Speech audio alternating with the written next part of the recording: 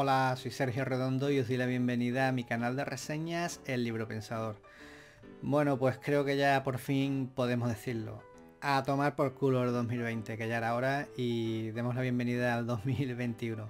Os deseo un feliz año a todos, ya que por fin hemos pasado este año de pesadilla y aunque de momento, bueno, tampoco hay mucha diferencia del 2021 al 2020, pero esperemos que este año la cosa vaya al menos un poquito mejor que lo que ha ido en 2020. Estos primeros días de enero me dispongo a grabar una serie de vídeos que, bueno, en principio no tenía pensado hacer, pero veréis, resulta que en mi último vídeo, eh, que era el del book tag de, bueno, el Navitag, en realidad, el Navitag, el book tag de la Navidad, o no, mm, dije que, bueno, que iba a ser mi último vídeo del año, y efectivamente fue mi último vídeo del año. Lo que pasa es que el mismo día en que publicaba el vídeo, resulta que tanto Raquel de la pecera de Raquel como Marta de Empieza por leer me nominaron a, dos book tags.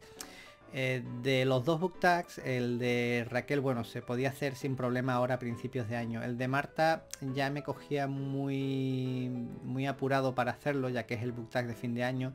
Pero bueno, lo voy a hacer también durante estos primeros días de enero porque excepto una de las premisas el resto se puede contestar fácilmente sin problema incluso a principios de año o sea que voy a hacer estos primeros días de enero os vais a encontrar estos dos primeros book tags en mi canal y ya después pasaré a hacer mis dos vídeos de top de lecturas del año 2020 por un lado de no ficción y por otro lado de ficción. En este vídeo el book tag que os traigo es el de propósitos lectores para el 2021 un book tag al que me nominó Raquel, de la pecera de Raquel, como os he dicho, y bueno, que consta de una serie de premisas en la que nos van preguntando, bueno, cómo nos planteamos afrontar el año 2021 pues desde un punto de, vista lector. Así que bueno, sin más preámbulo, vamos a por él.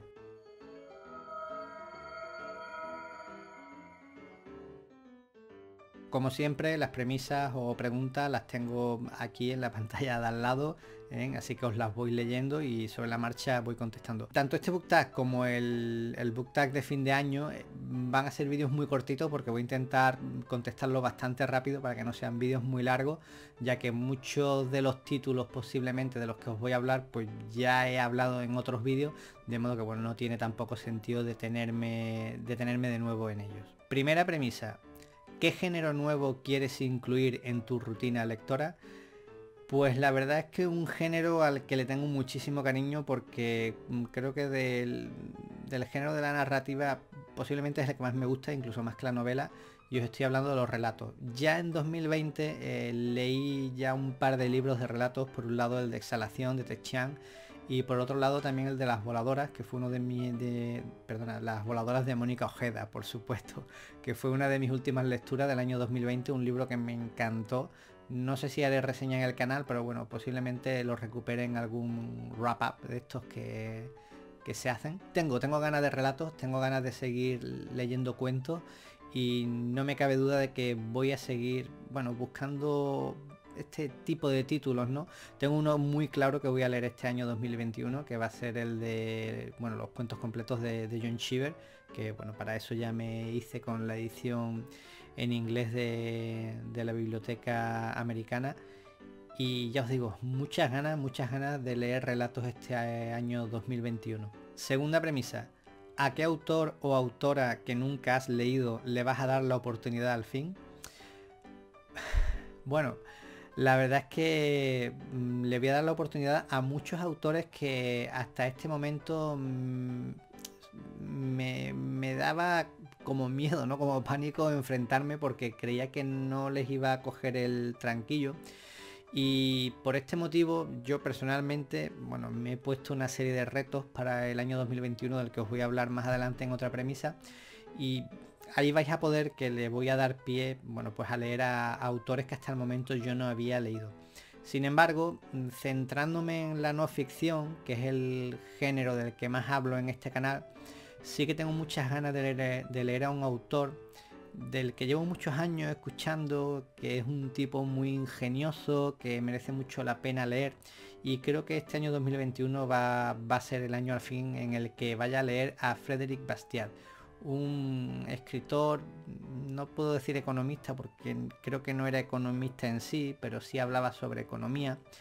Al parecer un tipo muy, muy agudo, con una serie de frases lapidarias y muy incisivas eh, que hacían, bueno, tomar sentido de la realidad al lector de la época. Tercera premisa.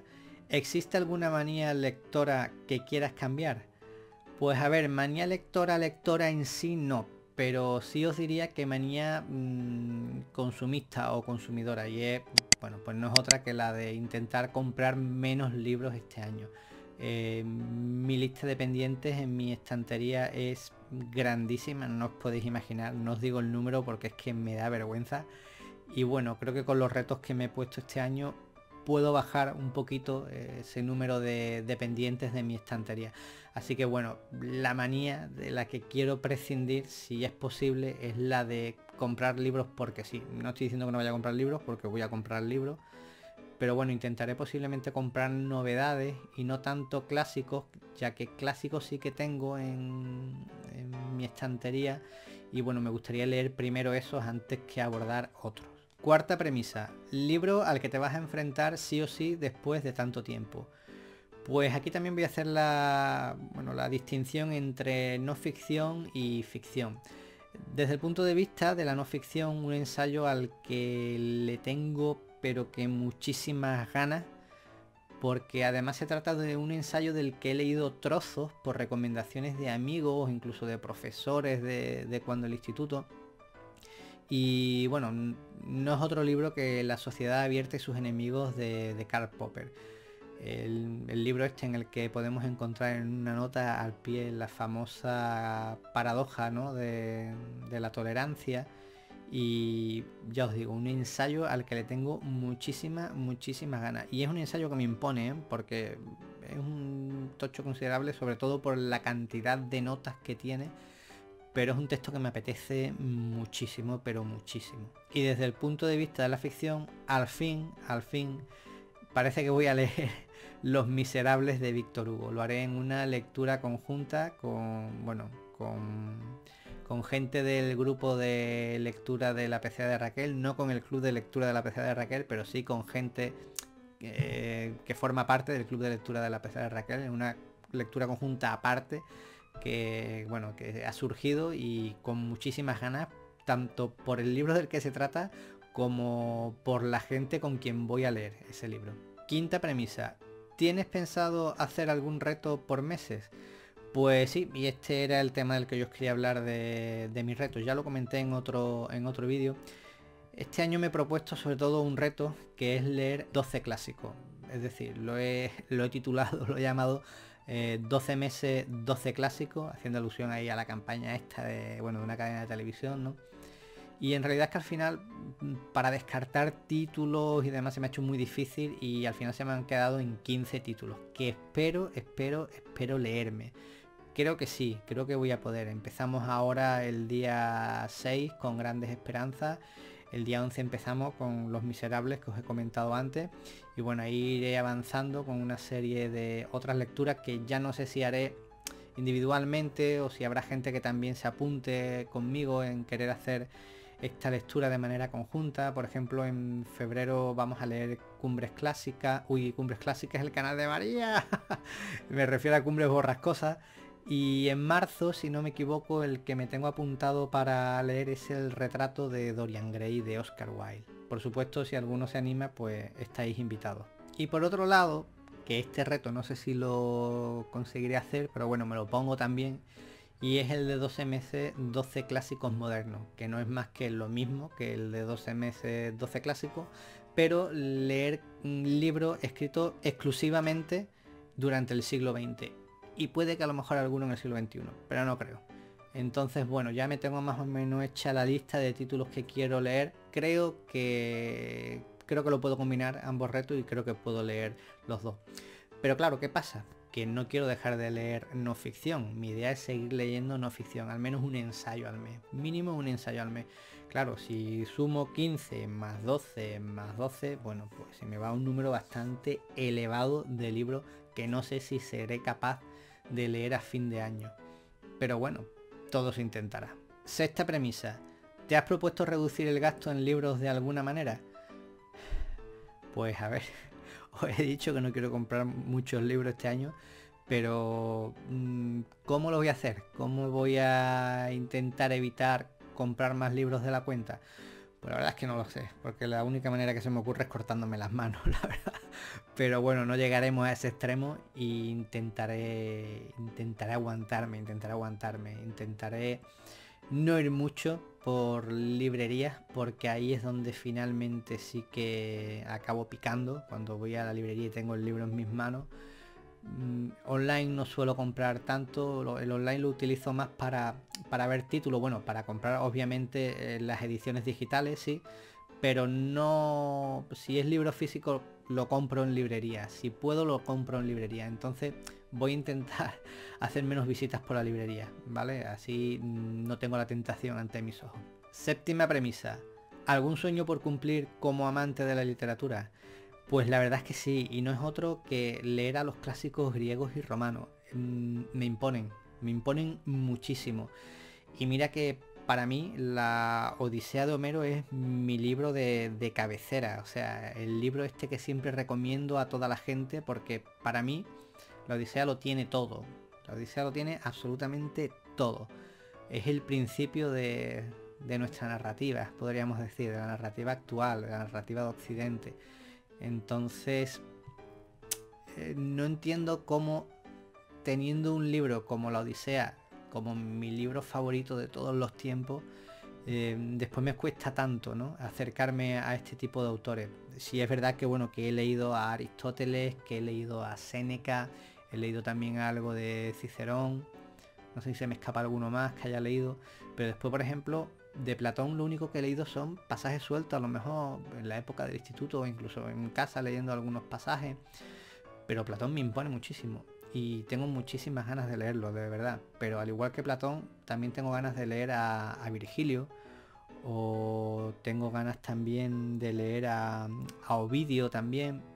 Ya os digo, una serie de autores, los clásicos al final griegos y romanos, que, que creo que son pues la base de todo, ¿no? Que tanto de temas filosóficos como de poesía, como de teatro, de creo que es de donde parte todo y, me gustaría, me gustaría por fin intentar darle una oportunidad. No sé si será en 2021, porque como ya os he dicho anteriormente, me he propuesto una serie de retos y posiblemente me lo van a impedir, pero bueno, algo, algo se intentará hacer.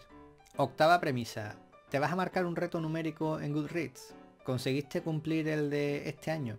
Bueno, pues voy a contestar primero la segunda. Sí, este año conseguí cumplir eh, mi reto de Goodreads. Yo siempre he dicho, yo no soy un lector de muchos libros, yo soy un lector de ritmo lento. Leo a lo sumo un par de libros al mes. El mes que leo más es porque, bueno, porque he tenido más tiempo o porque he hecho lecturas más cortas.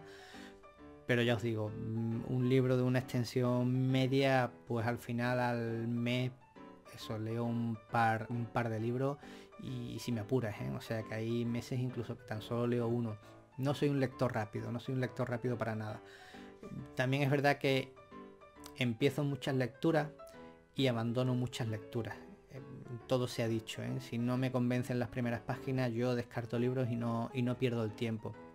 Pero bueno, en 2020 cumplí mi reto, me propuse leer 20 libros Creo que he leído, si no me equivoco, 27. Sí, correcto, 27.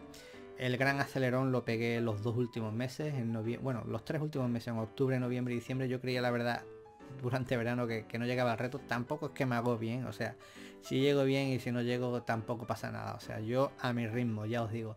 Pero bueno, siempre gusta tener, ¿no? El, el reto este numérico, ¿no? De Goodreads para ver si llega, para ver si llega, a ver si eres capaz de, bueno, también te da como un motivo, ¿no? Para leer más. Así que a mí sí me sirve. A mí personalmente sí me sirve el reto. No me agobia, como os digo.